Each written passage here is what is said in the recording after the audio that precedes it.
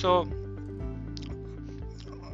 so, we uh, uh, after covering the basics, I think it's a good time uh, now to uh, dive into the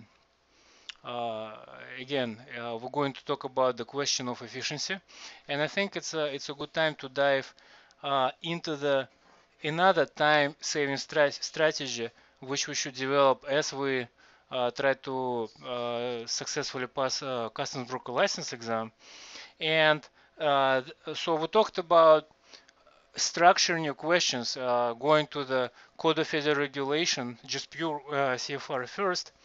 But um, once we get to the question itself at the question level, we also should have a strategy which we need to follow because if we will uh, be all over the chart, if you will, if we uh, will will not have a critical approach of solving uh, questions on the customs license broker exam, uh, you uh, uh, you will lose a lot of time. I'm not saying that uh, you will get those questions wrong, right?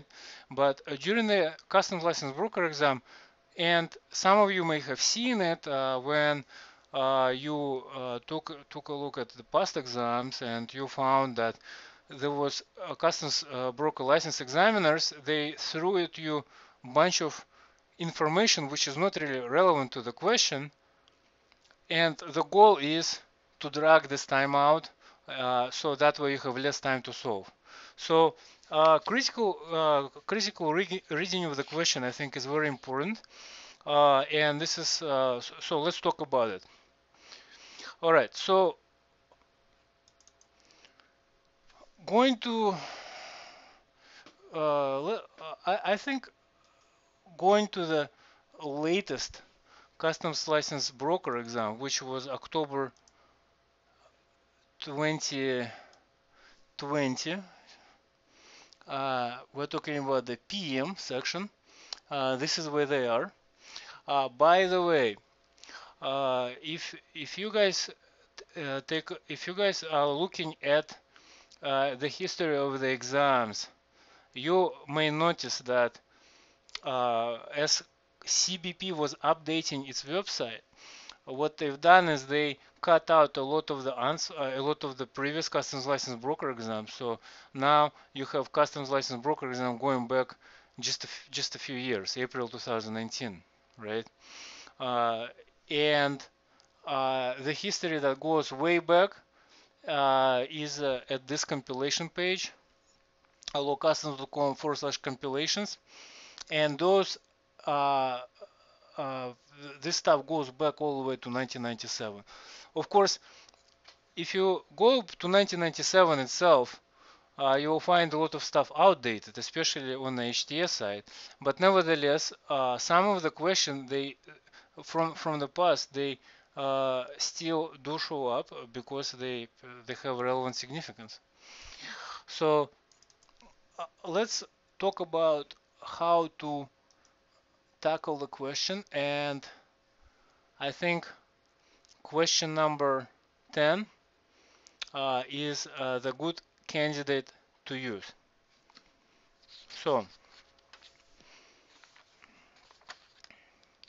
and for now, I need to ask you not to focus on any of the stuff that are um,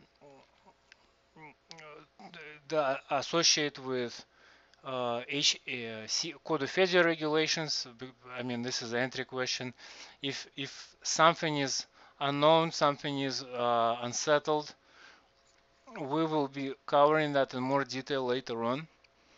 Uh, right now, the idea is to uh, take uh, take a question, known or unknown, whatever, whatever it is, and just see how to approach this with a particular methodology.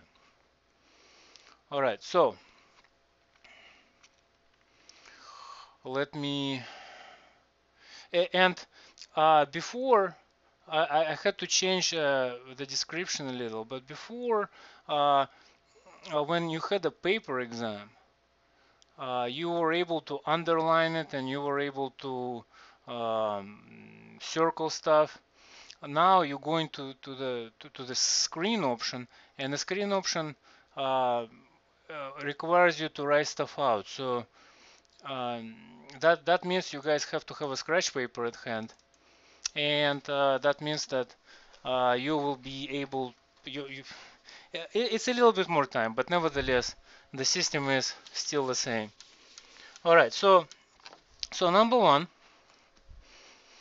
uh, when you sometimes you have questions of uh, re re relatively easy uh, mm, fact pattern and a question. So so what you have is you, uh, and generally speaking, you have you you know that you have a a fact pattern followed by the question. Sometimes it's this combined, and then you have five answer choices.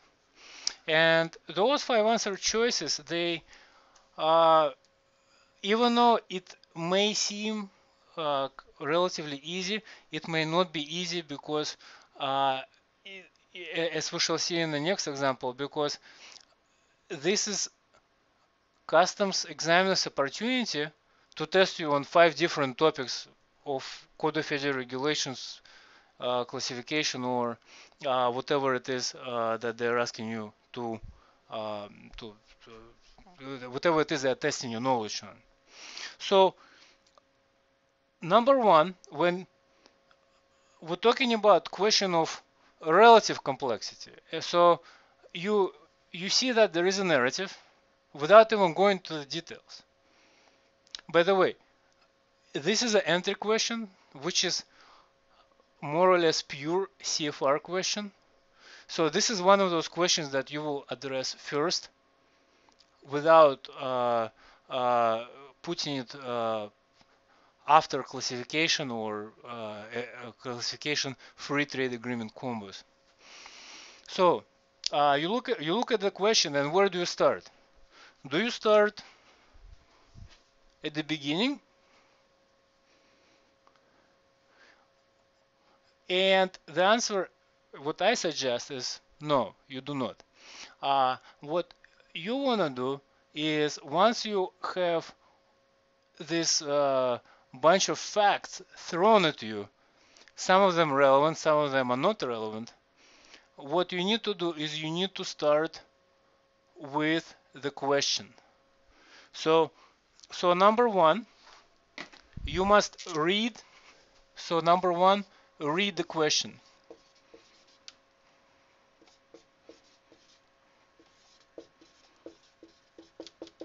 All right, so within, as you read the question, you have to look at uh, what, what, what I say relevant facts. Sometimes I refer to it as the buzzwords. And uh, if you read, uh, look at the, looking at this question, it says, which of the following is the earliest possible date of entry for the merchandise? So the buzz buzzwords over here, or the buzz phrase rather, it will be the earliest earliest possible date of entry. So again, if we were in a world of paper, I would uh, underline it and uh, move on with further uh, analysis. But in here, I'm see, let's pretend this board is scratch paper. So we're talking about date of entry.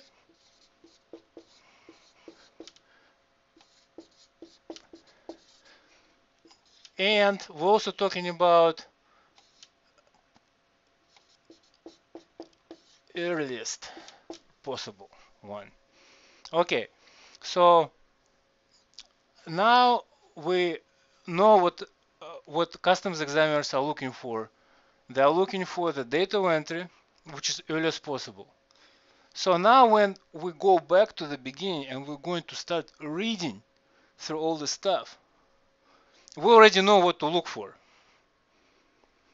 And uh, but but I, I will go into more details what what we're going to look for. But now uh, without even focusing on many other stuff, you are dealing with a date of entry. So by the time you you you, you will be able, you will sit at the exam, you will already know that the date of entry deals with a particular section of the Code of Federal Regulations, specifically 141.68.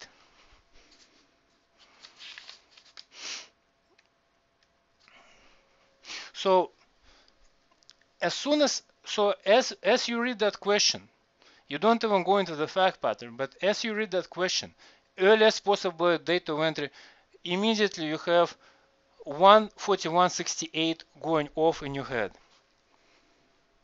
So, and one for, and of course I'm talking about the Code of Federal Regulation Title 19.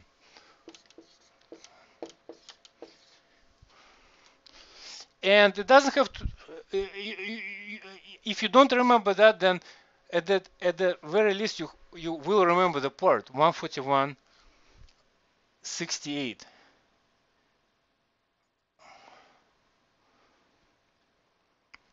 there it is time of entry date of entry I'll make it I'll make it more readable for you guys but um, let me let me go and uh, switch back to the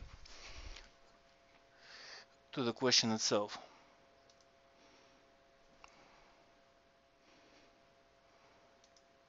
okay so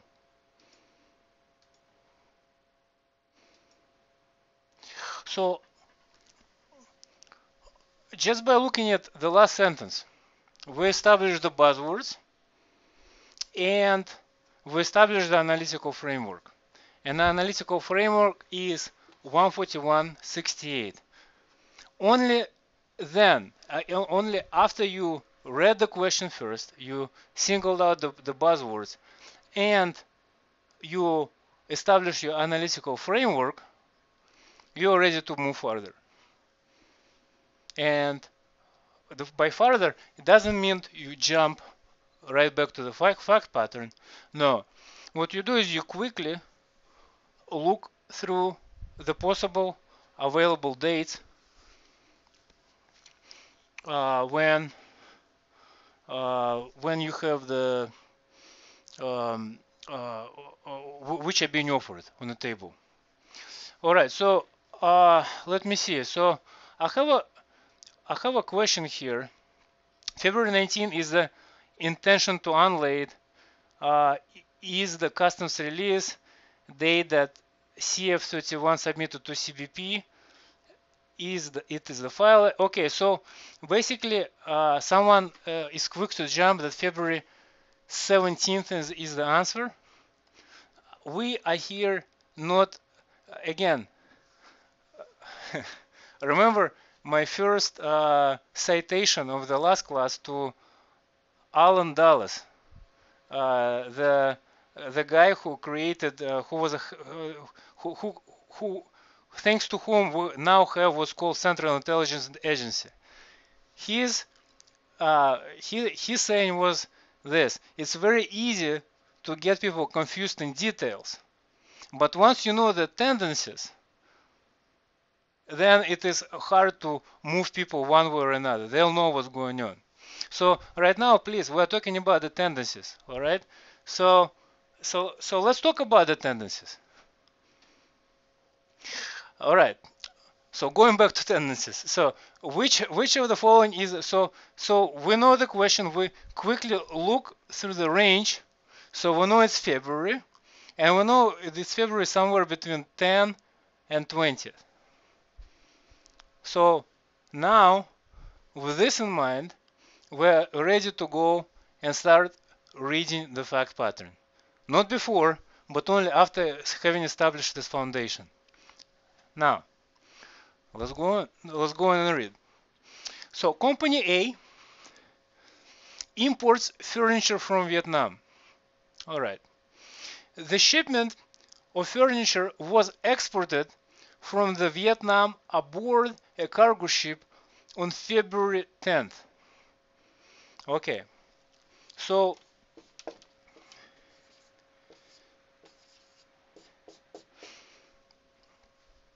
So we know that February 10th, which is answer choice A, is the date of export. And we're looking for the date of entry. So February 10th is not our guy, right?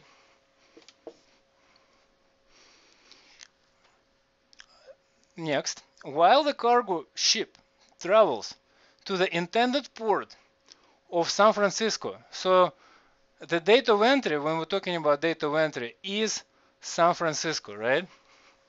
So port of San Francisco.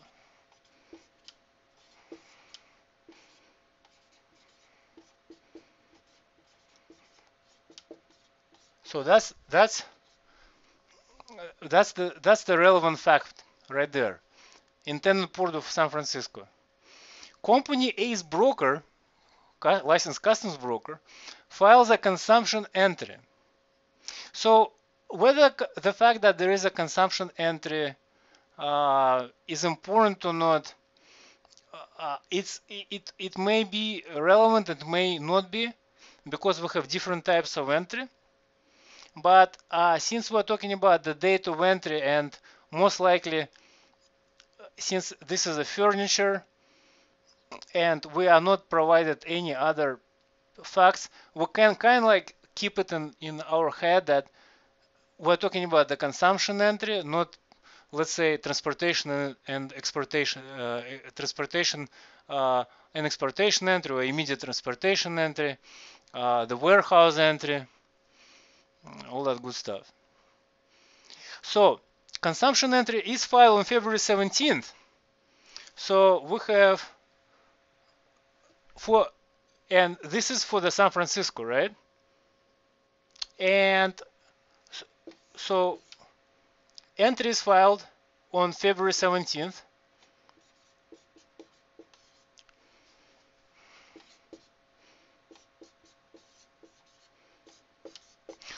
and we have February 17th as answer choice B. So that's a possible candidate, but let's look further. Uh, so, so answer choice B, I'll put a question mark. For this furniture shipment using an entry summary that serves as both the entry documentation and the entry summary. All right, so that means that the entry methodology, because there are, as we shall later see, uh, the entry methodology that was filed was essentially uh, almost like a live entry, right? So he filed, a, uh, he, just filed 75. I some of you may not be familiar. He just filed 7501 without filing, for example, 34 61 documentation. So he just filed the 7501, the entry summary. And that's it. So, all right. On February 18th, so this is very important fact that the entry summary was not just filed, it was uh, served as both entry documentation and the entry summary. All right, moving, moving, moving, uh, moving on. On February 18th, so that's answer choice C, the cargo ship stops at the port of Long Beach, so that's Southern California, where it unloads other cargo as scheduled. All right, but we know the entry, the final destination is San Francisco. So that's a relevant fact, but it's relevant as far as the process of elimination is concerned, right? Because the answer choice C for February 18th goes for Long Beach and we're looking for San Francisco. So we take C out. Notice, it's very important, notice what I'm doing. After I read the question and established the, uh, the, the call of it by pointing out the relevant information, and after looking quickly through the dates, the date range, I'm going on and I am either putting the question on or taking the stuff out. Remember that chart, the chart one from uh, yesterday that I provided? That check sheet that you guys use uh, as far as as uh, your notes, something like that you should be using to establish the record too. But after you read the question, after you quickly look through the answer choices, and after you started critically reading the fact pattern, you started looking at the questions and eliminate those based on based on information provided. So February 18th, and when uh, February 18th, uh, would that be important? Uh, can, for example, the entry for transportation and importation be made in the port of Long Beach and then trucked or railed to San Francisco? Of course it can. Then we have two different entries, right? We have entry for transportation and importation. I mean, uh, entry for uh, IT for immediate transportation. And uh, then we have uh, the live entry uh, at the San Francisco. So we have two, two key dates right? But this is not the case because we know the customs examiners do tell us that no cargo is loaded on a ship at that time. And while the cargo makes a regular stop at the Long Beach, it continues its journey to the port of San Francisco and it arrives to port of San Francisco on February 19th. It arrives within the port limits on San Francisco. Okay, so we know San Francisco is a is a final destination point for for the purposes of the question, right? It's it is the intended port of entry. February, so February 19th is also something that we need to put under the question mark as a possible candidate. And then it says finally the shipment arrives at the company's A's storage on February 20th, where it will stay until uh, ready to move to company's A's showrooms. Okay, so and then repeating the question, which is the following is is the earliest possible date of the entry for the merchandise. So February 20, do, can we eliminate the February 20 under the fact pattern provided? Well, we know that uh, the storage itself is not an inbound uh, storage, and don't worry about the details for now. Uh, I'm just discussing the general principles. If if if uh, we will be talking about bonded warehouse in more detail la later.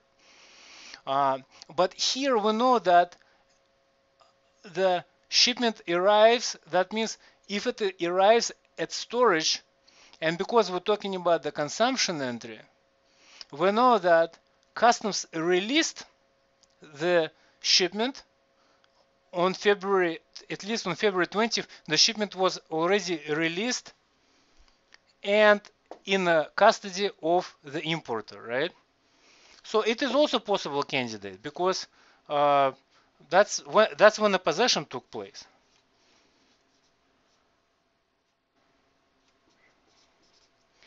All right, so now what's important here? The fact that we established the analytical framework within 141.68 is only a starting point. One of the goals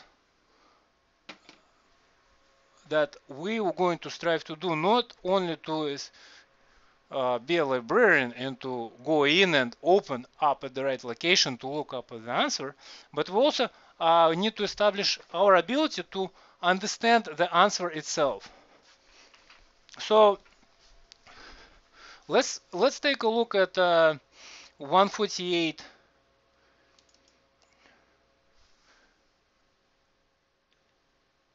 141.68 I'm sorry. Okay. So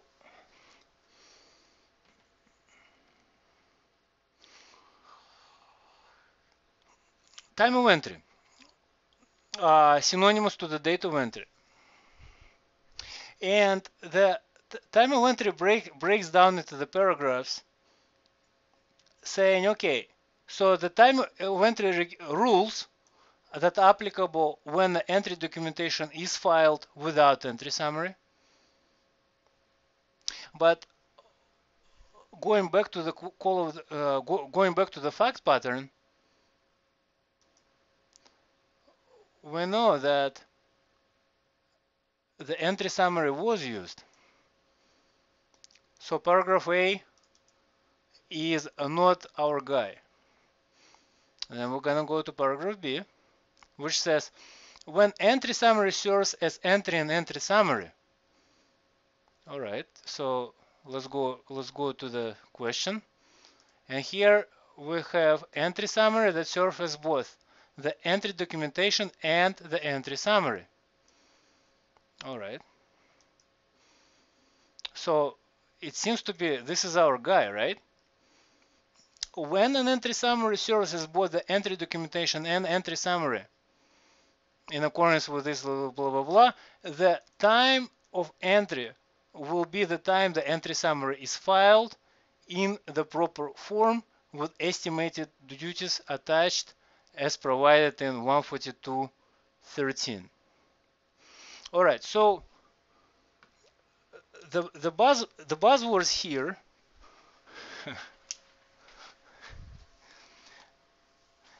and uh, by by, by, by the time you see it, you, you'll know this. But the buzzwords here is the proper form.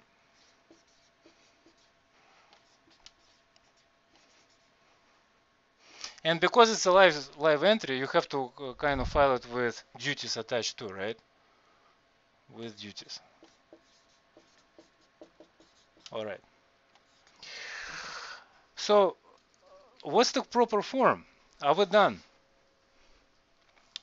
Uh, let's let's continue reading our literature.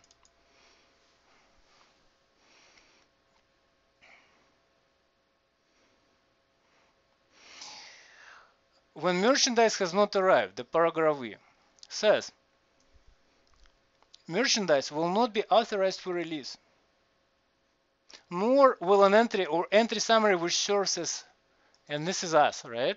Entry summary which serves as both the entry and entry summary to be considered filed or presented until the merchandise has arrived within the port limits with intent to unload.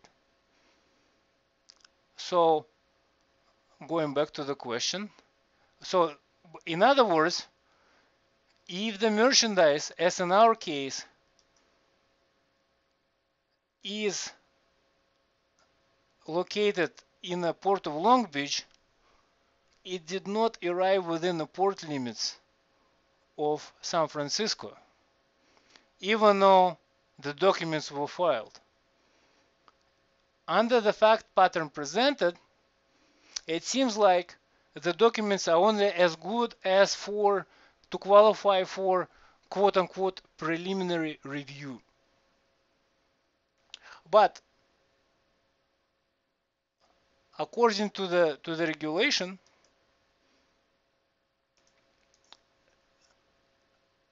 the authorization for release is only the earliest possible authorization only upon the arrival within the port limits with intent to unload. All right, so going back to our uh, uh, exam question, uh, when do we have intent to unload? or when does the merchandise arrive?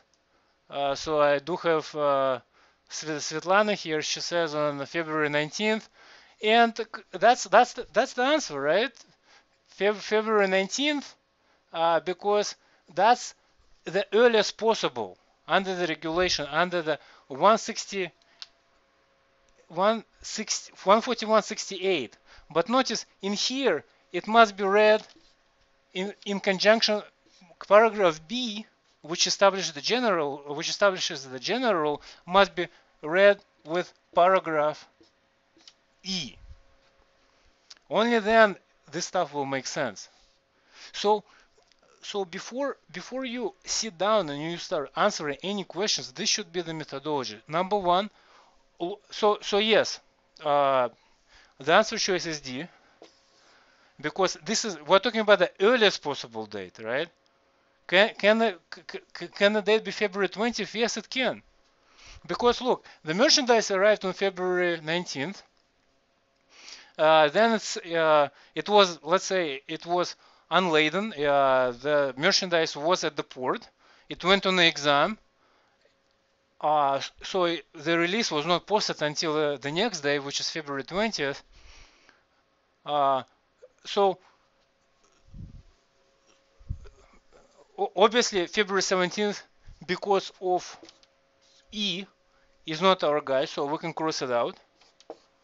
So the only possible answers here are D and E, but when read critically, we know that the earliest possible phrase makes E unavailable.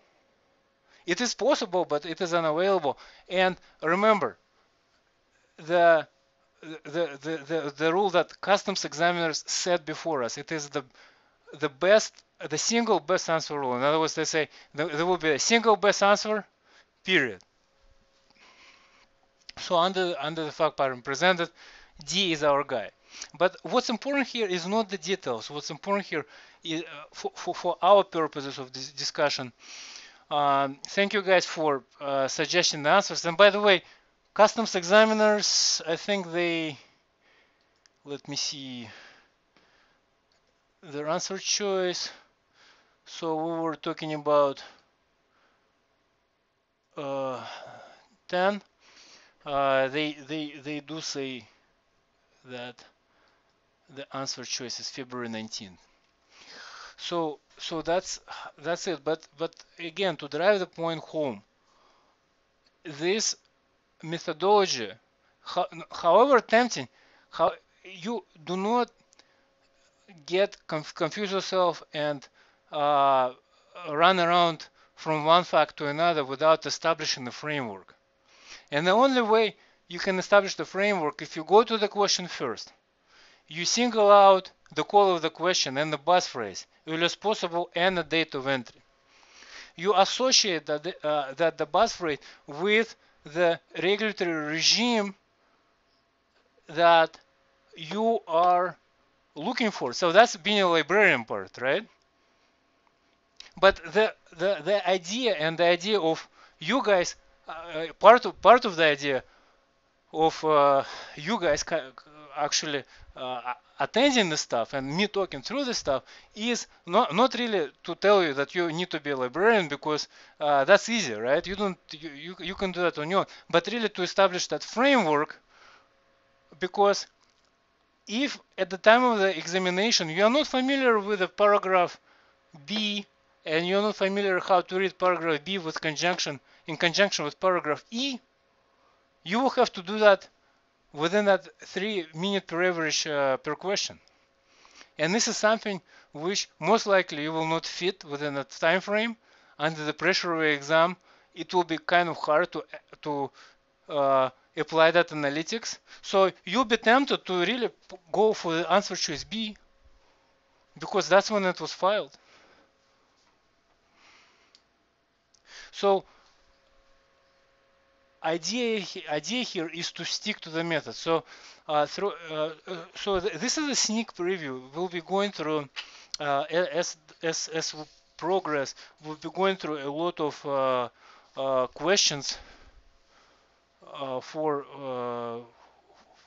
for the exam, and the the idea here is is is really to to be able to stick to that methodology and do this as kind of like you breathe in and out.